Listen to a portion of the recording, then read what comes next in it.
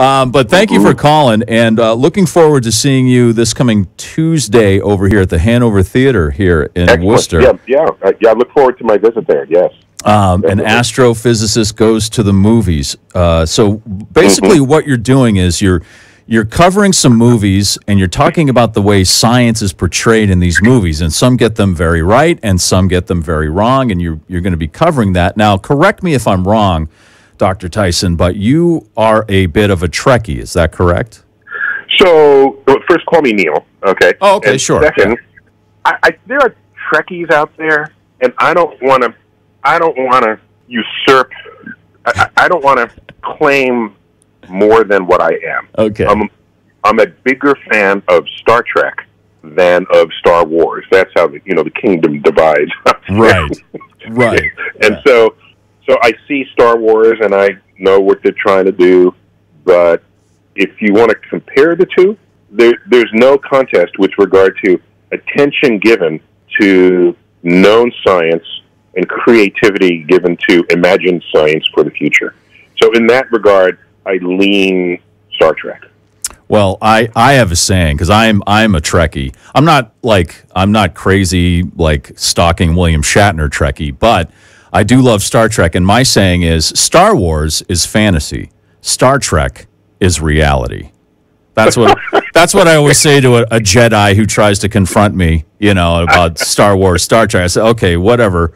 You know, basically, we all have smartphones. That's basically a tricorder, right? And we're just, I don't know, how far away do you think we are from actually transporting a living organism like they do in Star Trek? I, I'd say a decade. So I think they the actual solution to that is not what was imagined for Star Trek, because they're you know we're talking about the transporter, right? And Right, right. Convert you to a beam of energy and then recollect you on the other side.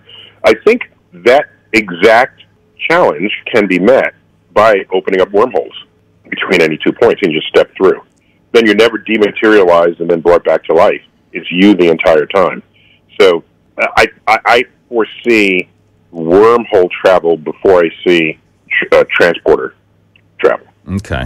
Do you think any of the uh, the big three rocket guys, as I like to call them now, uh, Elon Musk or Jeff Bezos or Richard Branson, are The, the Billionaires Boys Club. Yes, yeah, right.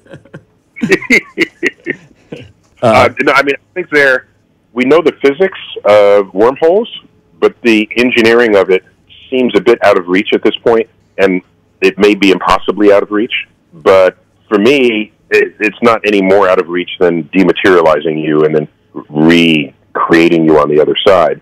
But by the way, once you're dematerialized, why not make six copies of you? I mean, Oh. I, don't, I don't know if there's any episode of Star Trek Star Trek that addressed that. But once we know all the information contained within you, and then you can rebuild that information, I can make as many copies of you as I want at that point. So that's an interesting uh, Huh. concern. I think that has never been addressed. Well, at least not in context. I can see making six copies of Neil deGrasse Tyson because I think personally the world would be a better place for that. But six copies of me, I don't know. My wife might have something to say. Like, uh, "This one is enough of you, Mike." You know, it's like, you know. So, uh, and, and when you're at the Hanover Theater on Tuesday. Uh, you're not just going to be covering science fiction movies. You're going to be covering uh, a, a very diverse uh, collection of movies, right? You're not sticking to science fiction. Correct. In fact, only a few of them will be science, literal science fiction films. I think the movie Gravity. I, I give a shout out to. Uh, also, uh, War of the Worlds, and although that's all happening on Earth rather than in space, but it involves you know invaders from Mars. Uh, I also give a shout out to the Martian and to the movie Contact, but that's so that's fine. Those are science fiction movies. You expect that a scientifically literate person would have something to say about that. So we're there, and so I give you that. But there are other movies that you just might not have thought of that has interesting science in them. For example, Frozen. Mm, yes. you know, I don't think people go to Frozen to, to, to come out saying, gee, I was scientifically enlightened by that. but I found things in it and other movies that you would not suspect that had elements of science that I said, hey, they put a lot of thought into this. And since it's completely animated, there's no accidental display of something. Everything is done on purpose. you know, right down to every frame that appears. And so, so I, I would say most of what I'll be presenting are movies that are not really about science, but there's something interesting scientific that happens in them that's worth noting. Mm. And so this is when I offer a comment. But, uh, by the way, there's a Yeah. quote from Mark Twain, which, because people say, I'm never inviting you to see a movie with me because you'll just, Right. you know, you'll be crabby the whole time. and, and it's like, no, no, I'm silent. You know, you know, you know who's, who's crabby the whole time? Are people who read the book first. Oh, They're yeah. never happy. Oh, You know, yeah. They are leave them at home with their book. Okay, you can take me to the movies. I'll be, I'll be on my best behavior. And here's what I give you. I quote Mark Twain: Okay. First, get your facts straight, then distort them at your leisure. Ah, yes. That is how I want to look at it. Right. So I'll just I'll give an example in Star Wars: The Force Awakens. In fact, this what I'm about to describe to you is not in this talk. Okay. Uh, I've created a an astrophysicist goes to the movies. The sequel, it's in that one. so if if Hanover invites the Hanover Theater invites me back next year, we can do the sequel to it. Okay. But in it, just as an example, in Star Wars: The Force Awakens, Episode Seven, the I think it was Episode Seven, the the new Death Star has extra energy powers. You know, and it's endowed by extra. So, so what they do, it parks next to a star and sucks out all the energy of the star, and then it uses that energy to destroy planets. So that's a badass Death Star compared to the original right. which would only be able to destroy one planet, right, with all of its energy. So, so okay, all right. But holding aside the fact that if you took all the energy in a star and put it in you, you would be a star. Okay, just hold that aside. Let's assume they have special containment vessels to put it in. Do you realize how much energy is actually in the star?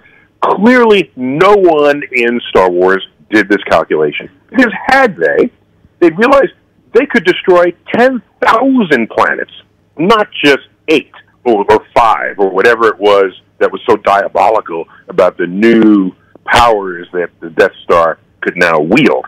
So, this is an example of where knowing the science could have enhanced the plot line because so often you hear producers, creators, set designers, no, we, we're going to ignore the science because I have this story I need to tell and it's going to constrain me. No, no, no. The universe is more interesting, more diverse. It is more mind blowing than probably anything you're going to think up. You know, uh, you know, in, in your sketches for the scene that you're imagining.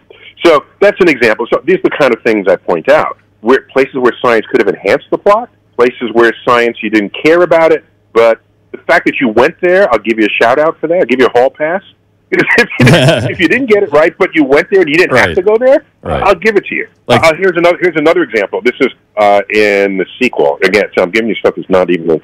So in the movie L.A. Story, Yes. uh, Steve Steve Martin, but charming rom com. Okay, Yeah. completely charming.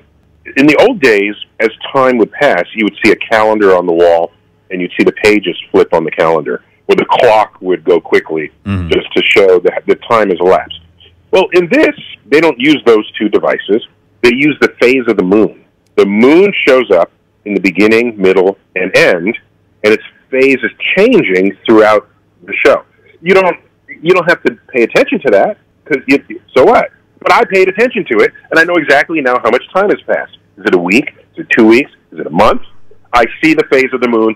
They thought about it, so that is good. yeah. The problem is they grow the moon, the phases of the moon, in the wrong direction.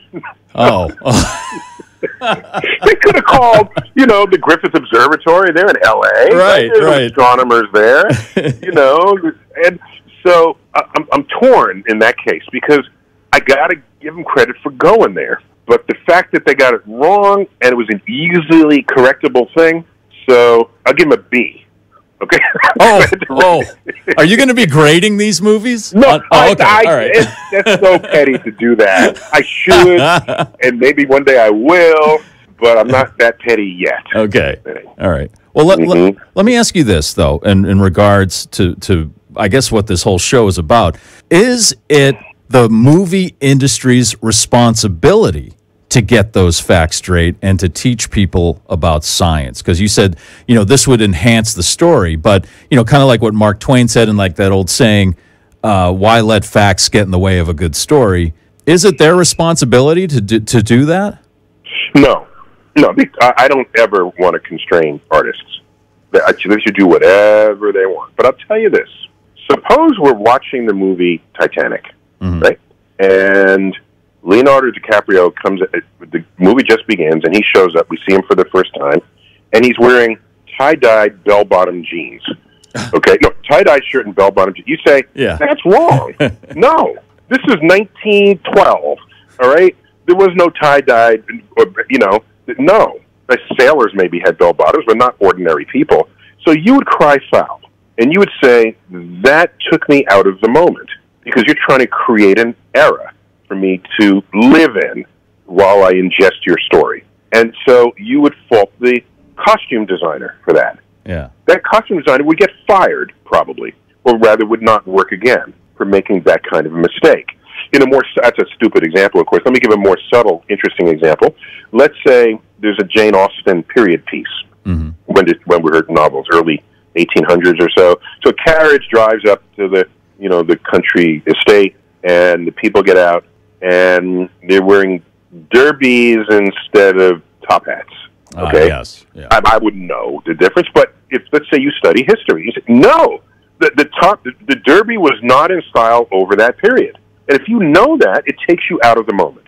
So so why? And, and here's another example. We've all experienced this for sure, uh, because we all know there's some car enthusiast in our lives that we would call our friend. We've you watch a movie again, a period piece. Let's say it takes place in 1962. No, let's say it takes like 1958 and there's a 1962 Chevy Bel Air parked in the street. They'll say, no, mm-hmm. the car mm-hmm. didn't exist yet. right right right? Right. And you would say, wow, that's cool. You know that. These people with this knowledge get our respect and they get our admiration for not only being that perceptive, but having the knowledge to comment in that way. All I'm asking is that I get no less respect than others who are doing exactly the same thing with other aspects of the film. right So the more scientifically literate the public is, the less the producers can get away with not paying attention to mm. science that they could have. Mm. And so so the pressure on them will be from the public more than just from me just describing what they did right or wrong. So so they can do whatever they want, I, really. But we have a growing community of geeks. yeah Just- Yeah, it's it's a it's a and what's my evidence of this? Just visit any Comic Con. right The New York one, the San Diego one, of course, is the original big one. And uh, New York might be bigger than they are now, but San Diego has the deep roots, right and you know, tens of thousands of people. yeah Oh my gosh! And what's funny is, what's interesting to me is they all love fantasy. They're all carrying around their lightsabers, uh, but at the end of the day, they know the difference between science fiction and science fact, and they're scientifically literate, and they're using that literacy to then enjoy the stories that are being told. They're the ones that are going to call you out if you could have gotten something right and didn't. And so ultimately, perhaps science in films will achieve the the expectations will rise to the expectations of the viewer the way a costume designer does, a set designer, a you know, look at the TV series Mad Men. There was a huge investment Yeah. in time, energy, props, mm-hmm. so that that took place in 1961 and 62 and 63, and and the the comments that they made that which were current news at the time, but it's only showing showing up in the show. Oh my gosh! Watching that, you go back to other shows, you say, "Man, they just messed up in these other shows. They didn't even do their homework." right do the homework. Go look at magazines of the day and see how people dressed. Look at what was written and see how people spoke. Look at the attitudes they had. Look at all the situations that people smoked. People smoked in elevators Oh, yeah. and in movie theaters, and they just did this in the show. And you look at it and say, "Oh my god!" right yeah So, Yeah. so it's praised for that. Why not offer the same praise for people who get the science right? That's my only point. I'm sorry it took me so many No. paragraphs to communicate that to you. No, I, I fully, I, I have a better understanding of, of why you're doing this. I mean, I, I'm a, I am a music geek, so I went to see, you know, the uh, Freddie Mercury movie Bohemian Rhapsody, and through the whole film, I'm like, well, that didn't come out then. No, no, they're playing this song too early. And my wife finally turned to me and said, "Shut up! I'm just trying to enjoy the movie." So yeah, I understand. I fully understand now why you know you're doing this, and and you know you take it from a car person's point of view or a historian's point of view. So I completely understand. Or, or costume designer. And in your case, by the way, what I would do is cut him slack if the way they use the song, because songs are about ideas and themes and love and hate and, Mhm. and and emotion. So maybe they needed it in the moment for the part of the story they're telling. So they have to play a little loosey goosey with the timeline. That's where you give them a Mark Mark Twainian hall pass Right. um, with the get your facts straight, then distort them. But uh, if it's just blind ignorance, yeah, there's no excuse for that. Well, uh, Neil deGrasse Tyson, thank you so much for uh, for taking the time. Uh, Hanover Theater here in Worcester next Tuesday. An astrophysicist goes to the movies. I'm very much looking forward to this. One final question, since we're so uh, we're in the season now, will you be covering any holiday movies or Christmas movies? Oh, you know, wow. Hmm. You know, something about Santa and how he gets those reindeer to fly, or you know, something like that. Yeah, I was just thinking. I don't know. You know, just tis the season. All right, you know, uh, let me let me think about. It. I have a week. yeah. Let me think. let me think about that. okay. Um, yeah, there are you know the Santa Claus, you know, Yeah. C L A U S E. That Yeah. has some fun, interesting parts to it. Uh, but what what happens if it's if it's fun and it works? I'd, I'd leave it. You know, that's not. I comment on science you don't expect to be there that they happen to get right, hmm and science that you expect to be there but they happen to get wrong. If it's otherwise just fun storytelling, I don't. I usually leave the movie alone Right. in, Right. in this in the context of this this uh, retelling. But uh, I mean, if, if reindeer can fly, what do they need legs for? You know, That is an amazing question. Oh my god. Right? Yeah. Oh boy. Maybe we should just leave that alone. You know, Just- what do you just Just just leave that alone because we don't want to ruin Christmas for anybody. All right. Well, Oh, uh, I got one for you. Yeah, yeah. So they always show. Here's one I could do. I got it. I'll find some movie clip where you go to the North Pole and you see Santa in his workshop, and usually there's like mountains and trees and things in the way. And then I just remind people there's no land on the North Pole. right. It's all ice. Yeah. Right. it's well, ice for now. Right? true. Right. Yeah. For now, unfortunately. Yeah. And in the future, Santa's going to be in a you know in a bathing suit. Um, Yeah.